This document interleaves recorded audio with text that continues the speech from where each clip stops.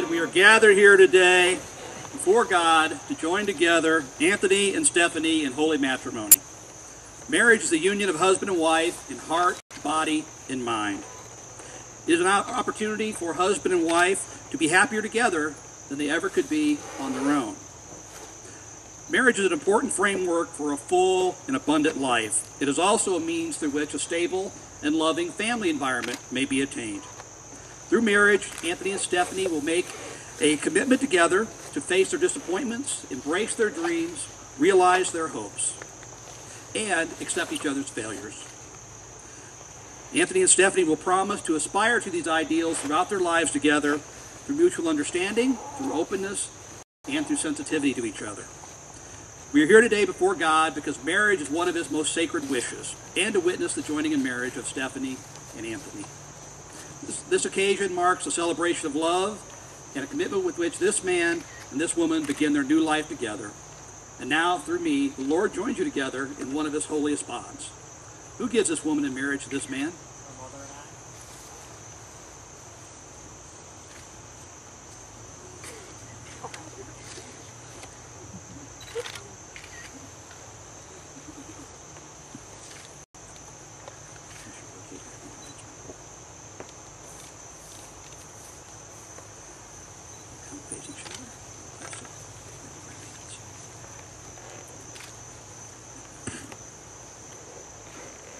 Anthony, Stephanie, in the days and years ahead of you, experience times of great joy.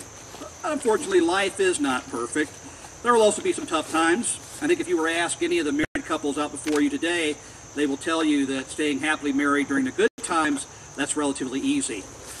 It's staying happily married during the challenges that life will throw at you that will test your marriage and test your faith. Let me also point out that the challenges you face can also be an opportunity if you just look at the things right. You know, later this year, my wife Cindy and I will celebrate 28 years of being married. And thinking back, you know, it hasn't been the good times that has kept us together all that length of time, but it's been the challenges we've faced. You know, it, it's been learning how to work together when money is tight or a job is lost. It's about learning how to raise children in a changing society. It's about learning to forgive and accept each other other's failures. And most importantly, it's about trusting God and letting Him lead you to better days. So be sure to stare down all of life's challenges together. And remember that although marriage isn't easy, it is well worth the effort. Anthony, Stephanie, I remind you, marriage is a, it's a sacred gift. It's a lifelong dedication to love and a daily challenge to love one another fully freely and unconditionally. With this understanding, do you, Anthony, take Stephanie to be your beloved wife? Do you promise before God and these witnesses to be a tender and faithful husband? Do you promise to love and cherish her in sickness and in health, for richer, for poorer, for better, for worse, and to keep yourself only unto her? If so, please answer, I do. And Stephanie, with this understanding, do you take Anthony to be your beloved husband? Do you promise before God and these witnesses to be a tender and faithful wife? Do you promise to love and cherish him in sickness and in health, for richer, for poorer, for better, for worse, and keep yourself only unto him? If so, please answer, I do.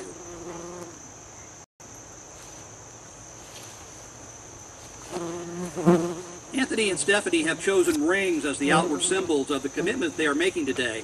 From the earliest times, a ring has been a universal symbol of wedded love is an unbroken and never-ending circle that symbolizes a commitment to love, that is also unbroken and never-ending. May I have the rings, please? Thank you. I will now bless these rings and the role they will play in your marriage. May these rings be blessed as a symbol of this affectionate unity. And like these rings, these two lives are now joined together in one unbroken circle. Wherever you go, may you always return to one another. May the home which you establish together be a place of peace and happiness. And most importantly, let these rings not serve as locks binding you together, but as keys unlocking the secrets of your heart for each other to know. Now, Anthony, if you will take the rings, and as you place them on Stephanie's ring finger, please repeat after me. These rings, these rings, a gift for you, symbolizes my desire. That you be my wife. From this day forward.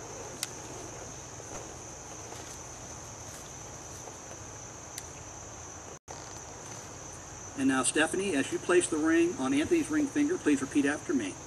This ring, This ring, a gift for you, a gift for you, symbolizes my desire. Symbolizes my desire. That you be my husband. That you be my husband. From this day forward. from this day forward.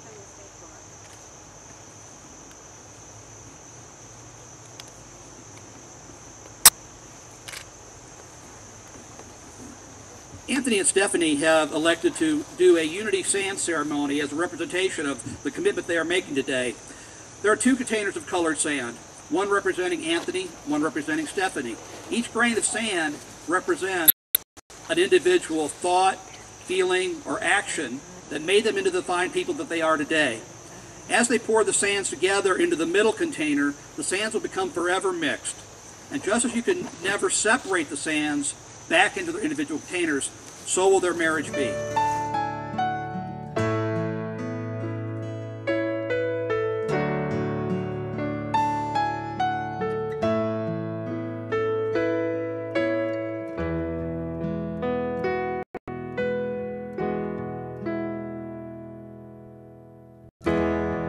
Let the sand pour through our hands. Us never be apart. The joining of two separate lands. The joining of two hearts.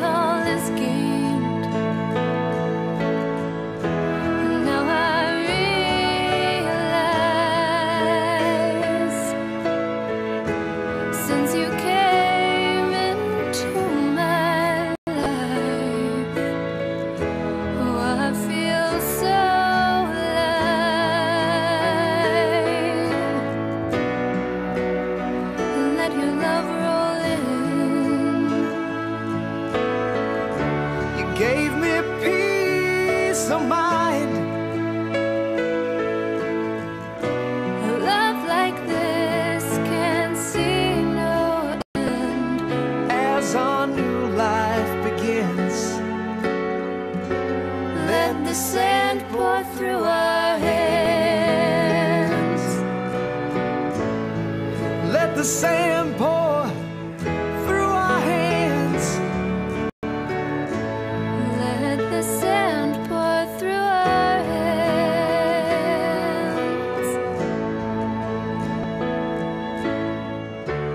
You know, the sand ceremony is a little bit like marriage. No, no matter how well you plan it out, even having a funnel to make sure everything is perfect, sometimes there are spills. But as long as you can smile, laugh about it, come back together and hold hands, it's all good. So congratulations, you passed your first test of marriage. Anthony, Stephanie, the mountains of North Georgia were once home to Native American Indians. I'm now going to read to you a Native American blessing that actually applies to people of all lands and all cultures. It goes like this. The first, the first line is rather poignant. It says, Now you will feel no rain. For each of you will be shelter to the other. Now you will feel no cold. For each of you will be warmth to the other. Now there will be no loneliness. For each of you will be companion to the other. Now you are two persons, but there is but one life before you. May beauty surround you both in the journey ahead and through all your years. Treat yourselves and each other with respect, and remind yourselves often of what brought you together. Give the highest priority to the tenderness, gentleness, and kindness that your connection deserves. And when frustration and difficulty assail your relationship, as they do all relationships at one time or another, please remember to focus on what is right instead of what is wrong. And remember that even though you cannot see the sun, it is indeed still there. And if each of you takes responsibility for the quality of your life together, it will be marked with abundance and delight.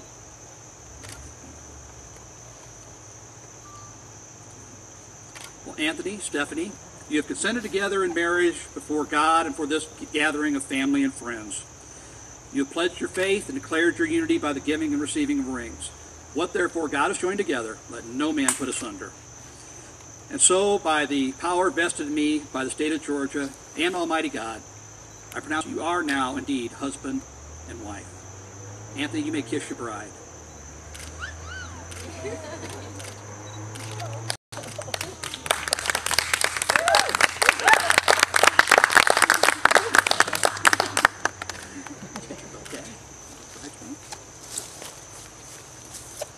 Ladies and gentlemen, on the chairs you have little containers of bubbles. I would like to take those out at this time. And together we are going to celebrate the marriage of Mr. and Mrs. Anthony Hawkins. Congratulations.